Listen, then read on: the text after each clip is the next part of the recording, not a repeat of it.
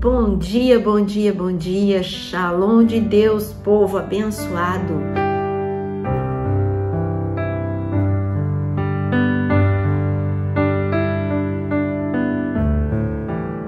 Povo abençoado que já se acostumou com um novo horário, 6 horas da manhã e 18 horas. 6 horas da manhã, o nosso devocional, o nosso cantinho, onde ficamos mais fortes, porque lemos a palavra, ouvimos aquilo que Jesus tem para dizer para nós, é o pão nosso de cada dia.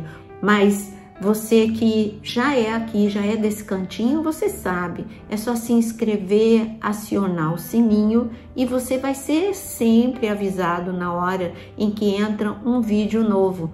E quando você curte e compartilha, você está sendo aquele bom semeador, aquela pessoa que ajuda a outros.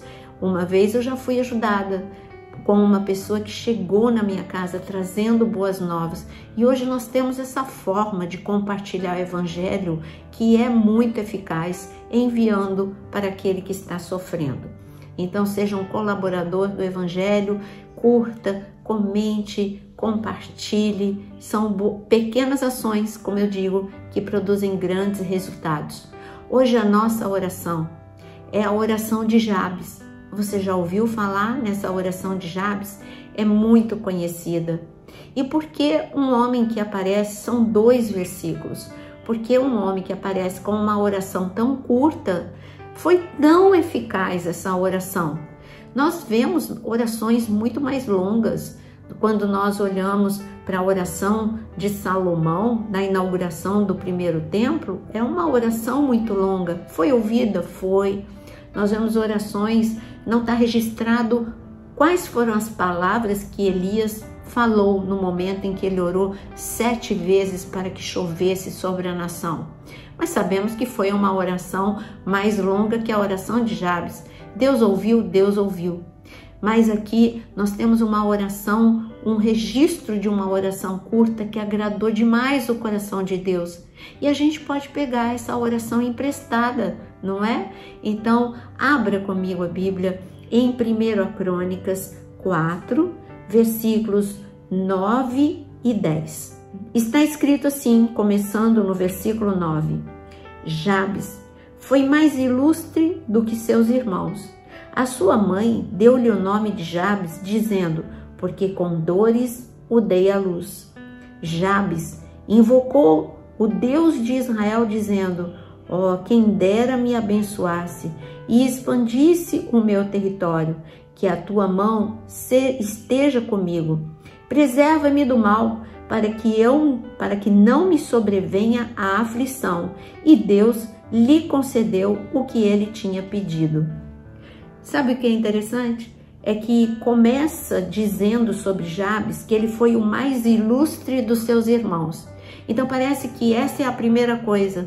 Mas muitas vezes a Bíblia, para chamar a nossa atenção, ela coloca o final e depois nós vamos entender o porquê isso aconteceu. Então, para mim, Jabes, o fato dele ser o mais ilustre, o mais bem-sucedido entre os irmãos, o mais ilustre nesse sentido, entre os filhos da sua mãe, ele foi aquele que se sobressaiu mais. Ele foi mais bem-sucedido, ele foi mais abençoado, ele expandiu mais tudo aquilo, não só é, materialmente, mas quando fala de alargar fronteiras, como nós vamos ver, é alargar fronteiras em todos os sentidos, emocionalmente, espiritualmente, nos relacionamentos. Então quer dizer que a primeira frase é resultado da oração dele. Ele soube como orar, ele soube como chegar no coração de Deus. E essa pequena oração nós podemos dividir em quatro partes. E vamos ver a primeira parte da oração? A primeira parte ele diz: Quem me dera Deus me abençoasse. Quem me dera Deus me abençoasse. Ele está dizendo: Eu sei que o Senhor é. Ele tinha uma consciência. Deus é o Deus galardoador. Deus é o Deus abençoador. Você sabe o que é bênção? Bênção é um carregamento, a palavra abençoado, ela vem do, do hebraico de barar, E barar é uma palavra, essa raiz é a mesma usada para dizer quando o camelo se ajoelha para ser carregado de mercadorias. Então, essa palavra quer dizer que eu me prostro diante do meu Deus, o meu Deus que é abençoador, o meu Deus que me abençoa e ele me carrega das suas bênçãos. Quais são as bênçãos de Deus que você quer hoje ser carregado? Fale com Jabes, Senhor, me abençoa, porque eu sei que o Senhor é abençoador. Me abençoa com a tua paz, me abençoa com a tua alegria, me abençoa com a tua prosperidade, me abençoa com saúde. Olha quanta coisa Viu como Jabes soube orar? Ele pediu a bênção de Deus. Eu sou do tempo em que filhos pediam a bênção dos pais. Eu não saía da minha casa sem eu dizer, mãe, a bênção, mãe. Parecia um hábito, mas eu tinha consciência que era muito importante que a minha mãe me abençoasse. Com o passar do tempo, as pessoas meio que perderam essa consciência do quanto é importante que pessoas umas abençoem as outras. Aliás, Deus disse para Abraão que ele era abençoado e ele seria abençoador de muitas famílias. Então, eu quero que você saiba nessa manhã, você é abençoado de Deus. E Deus quer te abençoar nesta manhã com um carregamento de bênçãos. Segunda parte da oração de Jabes, ele diz: "E que o Senhor possa expandir o meu território". Expandir o território é o que eu estava falando, alargamento. Você não ficar uma pessoa vivendo na mediocridade. Deus quer que você possa sair da mediocridade, do descontrole, para você alargar as suas fronteiras, para ser uma pessoa uma pessoa controlada. Isso é um alargamento de emoções. O alargamento de emoções é você sair do estreitamento da tristeza para ir para o alargamento da felicidade. É claro que aqui está falando também de bênçãos, bênçãos materiais. Você pode dizer, Senhor, faz-me prosperar no trabalho que eu tenho. Não importa qual é o teu trabalho. É como mãe, Deus vai te fazer prosperar, alargar as tuas fronteiras como mãe, que você seja como a mãe de John Wesley, que tinha uma vida de oração tão intensa que de nove filhos, dois se tornaram avivalistas na Europa. Que você não sei o que você faz, que você possa, se você é uma costureira, que incrível, você pode mudar a vida de muitas pessoas como Dorcas, que mudou a vida de uma cidade toda. Não importa aquilo que você faz, como homem ou como mulher, o teu trabalho é importante e você pode ser abençoado naquilo que você faz. E ele diz ainda que o Senhor possa expandir o meu território e que o Senhor e que a tua mão esteja comigo. Ele está dizendo: não me deixa, não me abandona, porque sem o Senhor, faça como Moisés. Moisés, ele disse para Deus: Deus, se o Senhor não for comigo, eu nem saio daqui, eu não vou para lugar nenhum. Foi essa a oração de Moisés, porque Moisés entendeu que ele só poderia prevalecer o deserto se Deus estivesse com ele. Senão, as serpentes, os escorpiões, o calor, a sede, a fome, a desorientação, tudo isso o venceria. Mas Moisés, ele fez esse pedido e disse: Senhor, não me deixe, não, se o Senhor não for comigo, eu não vou em lugar nenhum. Antes de você sair de casa, ou se você já está a caminho do trabalho, diz agora, Senhor, que a tua mão esteja comigo, que a tua mão esteja com a minha família, abençoa a minha família lá em casa, se você já saiu de casa. E se você ainda está em casa, fala, Senhor, que a tua boa mão esteja aqui na minha casa e que a tua boa mão esteja por onde quer que eu vá e toda a minha família. Não me deixe, não me abandona, porque essa é a tua promessa. O Senhor disse que o Senhor nunca, jamais me deixaria nem abandonaria. Então Jabes ele disse: "Não posso andar sem o Senhor. Eu não posso viver sem a sua bênção.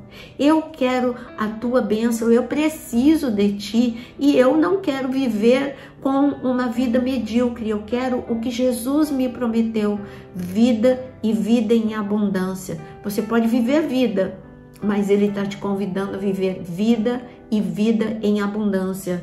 E, e, e Ele faz um último pedido: preserva-me do mal para que não me sobrevenha a aflição. Você tem que ter consciência de que você tem um inimigo.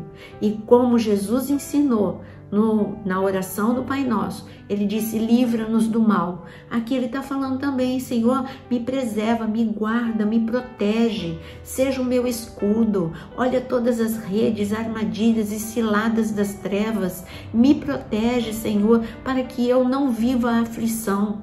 Nós temos problemas, mas ele está falando de problemas que podem ser evitados, como foi no livro de Esther, que o Senhor preservou e guardou, porque o povo orou e jejuou três dias, o Senhor não permitiu que o plano de Amã fosse executado. Por isso eu quero dizer nessa manhã que todo plano das trevas contra a sua vida não vai ser executado, porque o Senhor te preserva do mal.